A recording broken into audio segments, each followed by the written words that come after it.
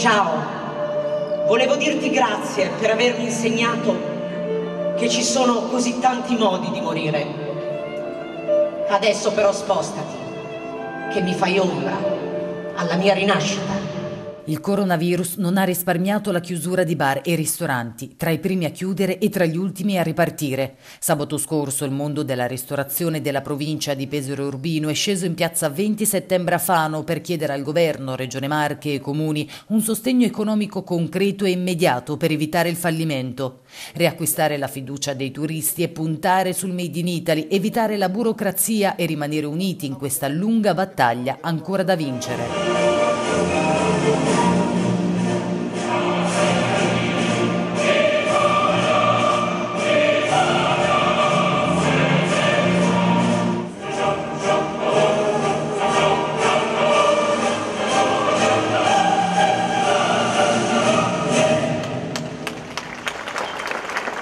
Dopo l'inno di Mameli si sono alternati rappresentanti politici locali e regionali, poi la testimonianza di baristi e ristoratori che hanno aderito alla protesta pacifica organizzata dal movimento apolitico Ristor Italia. In qualche modo, trovandoci con queste ristrettezze, chiaramente ci mettono fortemente in difficoltà tutto il settore, dai bar sicuramente ai ristoranti e quant'altro. Qualcuno probabilmente proverà a riaprire, però sicuramente la stragrande maggioranza per il momento ancora vorrà vedere un pochettino come si evolve la situazione, ma sicuramente molti non riapriranno. E sono tanti infatti coloro che oggi non hanno alzato la saracinesca. Tra le preoccupazioni, oltre a quella economica, rientrano le sanzioni civili, penali e amministrative che rischiano gli imprenditori. Per ora niente, per lunedì 18 non apriamo. Non so se apriremo per il weekend di venerdì, sabato e domenica oppure faremo quest'altro. Intanto abbiamo iniziato a sanificare il locale, tutto quanto, posate, tutto quanto, chi più ne ha.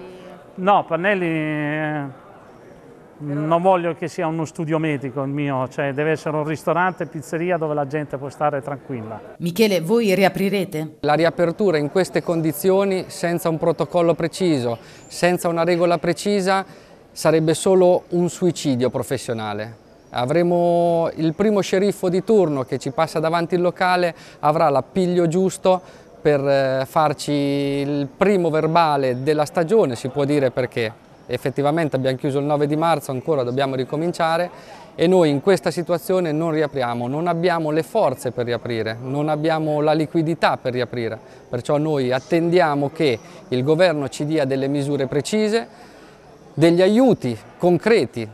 Ad oggi non abbiamo avuto niente, i famosi 25.000 non mi sono arrivati, la cassa integrazione del mio dipendente ancora non è arrivata, e il mio dipendente a tutt'oggi ancora deve avere lo stipendio. Io purtroppo non ho potuto anticiparlo. Altri imprenditori invece hanno deciso di riaprire l'attività, come Raffaele Papi, titolare di un bar a Pianello di Cagli.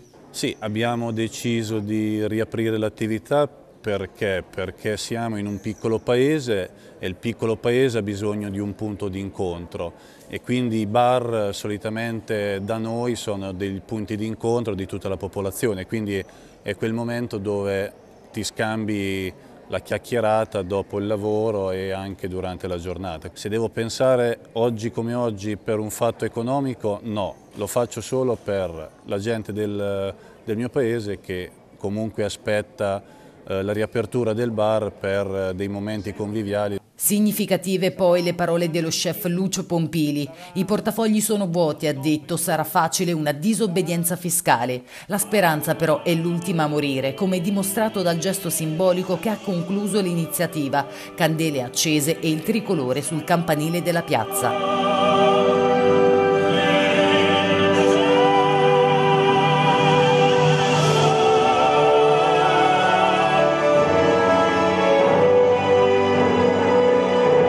Sicuramente fino a settembre 2021 faremo questo stop and go senza quelle che sono le coperture di liquidità che sono necessarie e per i nostri dipendenti e per le nostre strutture. Non chiediamo la luna, chiediamo il valore di un mese di chiusura che è l'equivalente di un anno di lavoro.